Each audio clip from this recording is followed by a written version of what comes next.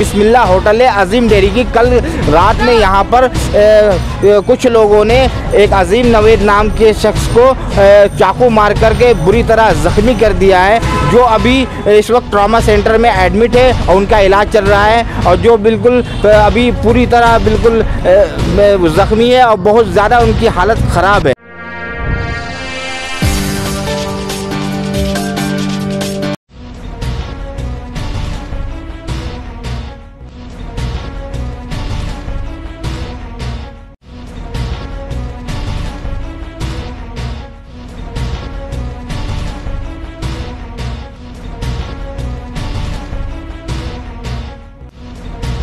पटला हाउस में, हर गली में, हर गली कोई ऐसी गली नहीं है जहाँ नशे पत्ते नहीं हो रहे, नशाखोरी नहीं हो रही है। और नशे पे यहाँ के समाजी जो कार्यकर्ता है, जो वो कभी काफ़ी नशे पे काम करने वाले नशाखोरी किस तरह बंद हो, और इस पर बात करते हैं हम एक समाज सुधारक ट्रस्ट के एक फाउंडर है सग़ीर भाई इनसे बात करते हैं नशाखोरी पे किस तरह काबू पाया जाए इसके लिए आप लोगों ने क्या सोचा है ये बताइए किस तरीके का वाक़ बिस्मिल्ला होटल ये अजीम डेरी में कल का जो वाक़ हुआ है इस वाक़े को आप किस नज़रिए दे, देखते हैं और किसे इसका कसूरवार ठहराते हैं? देखिए कि सबसे पहले तो मुझे बड़ा दुख है कि दो तीन लोगों ने मिलकर के एक इतने समाज सेविक व्यक्ति को चाकुओं से मारा और अभी पहले वो होली फैमिली में एडमिट कराया और उन्होंने जब कहा कि इसका इलाज यहाँ नहीं होगा, उन्होंने एम्स में रेफ़र कर दिया।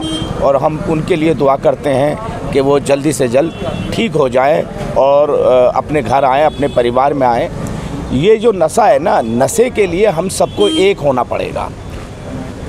क्योंकि नशा एक ऐसा हो गया आज के टाइम में कि आपने जो कहा, हर मोहल्ला, हर गली में नशा है। नशेड़ी जितने भी हैं, उनके ऊपर लगाम कसनी पड़ेगी। प्रशासन को हमारा साथ देना पड़ेगा। पिछले चार साल से हम नशे के ख़िलाफ़ काम कर रहे हैं और काफ़ी हद तक हम लगाम लगा चुके हैं। जो खुलेआम होता था, बैठ कर के वो अब नहीं हो रहा है। मगर हम खुलेआम को ही रोक सकते हैं। जहाँ ये सरकार को क्या करना चाहिए, जहाँ ये बिखरा है उसको शिकंजा कसना चाहिए। जैसे तैमूर नगर में वहाँ नशा बिक रहा है निज़ामुद्दीन में बिक रहा है खिजराबाद खिजराबाग भी बिक रहा है और जैतपुर में भी बिक रहा है जो जय जय कॉलोनी वहाँ भी बिक रहा है। इसके ऊपर क्या लगता है जहाँ जहाँ नशा खोरी हो रही है जहाँ जहाँ नशे का जो सामान बिक रहे हैं और तो क्या पुलिस को खबर नहीं होगी इसकी? नहीं सबको मालूम है। सबको मालूम है। मालूम होने के बावजूद भी खुलेआम छूट दे देना।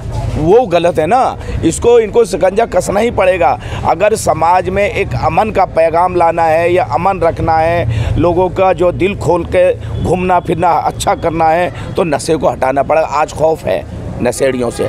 ब्लेड रखते हैं चाकू रखते हैं ये लोग अपने साथ कल जैसे वाकया जैसे वाकया हुआ। अजीम नवेद नाम की जो वो बहुत ही शरीफ आदमी थे। बहुत ही सज्जन है वो। और हर हर लोगों की उन्होंने बहुत मदद की है। बहुत ही अजीम भाई जो हैं अजीम नावेद बहुत ही बढ़िया हैं और हम तो ये कहते हैं ऐसी घटना आगे ना हो। मामला क्या हुआ था?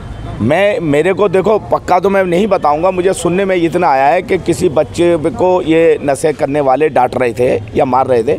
ये बोले कि ये बच्चे को क्यों डांट रहे हैं? बस इसी बात के ऊपर अंदर ले जा करके उन्होंने उसको अच्छा, पता ऐसा हुआ कि किसी बच्चे को ये लोग जो नशा खोर लोग मार रहे थे हाँ। तो ये जो समाज सेवा जो करते हैं हाँ। नाजिम नवेद हाँ। उन्होंने बीच बचाव कराया और मना कर क्यों मारा भाई क्यों मार रहे हो उसे तो चाकू से वार कर दिया गया इन पे। इतनी हाँ। सी बात थी। सी बात। तो ऐसा लगता है कि वो चाकू से मारने वाले फुल नशे में होंगे नशा खोर होंगे। नशा खोर है ये। और इनके पास आप देखिए हमेशा इनके पास चाकू और ब्लेड तो हमेशा ही होते हैं इनके पास। और रात को मुझे साढ़े ग्यारह बजे एक कॉल आई तो मैं बटला बस स्टैंड पे जो ग्रामीण सेवा है उसके अंदर आठ लड़के बैठे हुए पर्दा डाल करके जिसका वो ग्रामीण सेवा वो नहीं था उसमें मगर नशेड़ी बैठे थे और मुझे देख के एकदम भाग गए।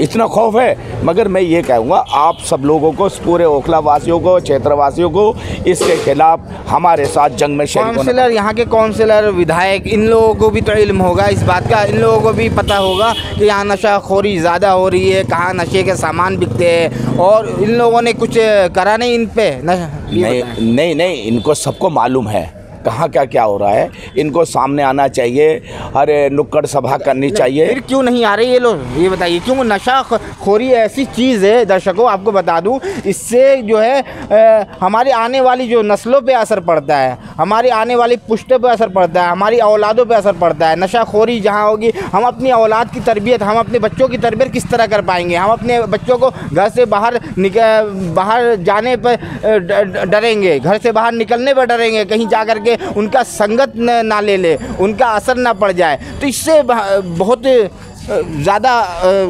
परेशानी की बात है और बहुत ज़्यादा इन पे गौर करने की बात है क्योंकि अगर इस पे काबू नहीं पाया गया तो इसका असर हमारे बच्चों पे पड़ेगा। बिल्कुल इस हंड्रेड परसेंट ये हमारे जो छोटे छोटे बच्चे हैं ये कल इनके घरों तक पहुँच जाएगा नशा फिर क्या करेंगे ये लोग? आज वक्त है आज सामने आ जाए और इसको कॉपरेट करें सहयोग करें नशे के खिलाफ और जंग इसमें शरीक हों तभी हम नशा खत्म आए दिन देखने को ये भी मिलता है छोटे छोटे लड़के सिगरेट पी रहे हैं। सिगरेट नहीं बीड़ी पी रहे हैं। बॉन्ड है। जो सूंघने की एक ट्यूब आती है ना उसे कपड़े में लगा करके ऐसे सूंघते फिरते हैं।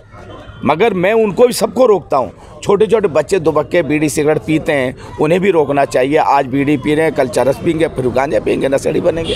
सबसे पहले जो घर के पेरेंट्स हैं उन्हें अपने बच्चों के ऊपर नज़र रखनी चाहिए।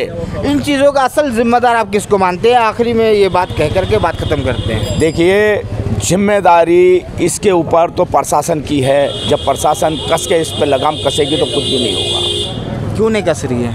अब अब ये तो आप ही पूछ सकते हो क्यों नहीं कस रही नहीं आप एक समाज सुधारक ट्रस्ट से आप का वास्ता है। आप खुद ही समाज सेवा करते हैं। आप खुद ही सोशल एक्टिविस्ट है खुद ही सोशल वर्क है वर्क करते हैं। तो इसलिए मैंने आपसे ये बात करी क्योंकि आप ज़मीनी स्तर पे आगे काम करते हैं तो इस पर आप क्यों मुहिम नहीं चला रहे इस पर आपकी मेहनत क्यों नहीं होनी चाहिए? देखिए यही देख करके आज हमारी जामिया नगर के एसएचओ साहब सतीश कुमार जी से हमारी मीटिंग है। उन्होंने खुद कहा मीटिंग करो।